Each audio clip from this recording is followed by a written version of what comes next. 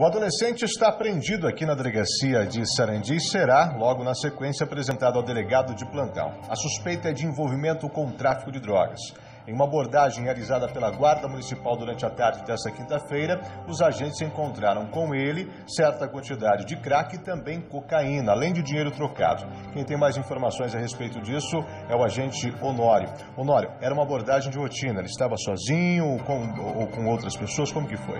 Abordagem de rotina. Estava em um grupo de quatro adolescentes ali, mas só que ao vista a viatura, sempre dois se, se movimentaram estranhos aí, em atitude suspeita.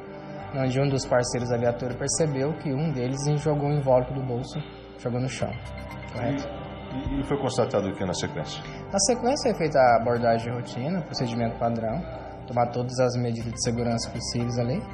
E com o menor aí foi encontrado uma quantia em dinheiro, aproximadamente 80 reais, um celular e próximo ali, uns quatro passos atrás, a gente conseguiu encontrar o invólucro ali. Aí foi constatado que tinha 11 pinos de cocaína, mas ao verificar, abrir ali, tinha sendo 6 de cocaína e 5 de crack. Ele assumiu que estaria vendendo a droga? É, no início, raramente assume, né? Mas foi indagado mesmo aí com algumas perguntas ali, ficou um pouco nervoso, entrou em contradição e acabou assumindo, porque a gente tinha encaminhado todo mundo à delegacia. Mas ele assumiu que realmente era proprietário da droga e estava vendendo no local ali. Obrigado, Nório, pelas informações. Bom, o adolescente passa agora a ser investigado. A Polícia Civil que vai passar a tomar conta desse caso quer saber se ele estava cometendo tráfico sozinho ou, quem sabe, trabalhando para um traficante maior de idade.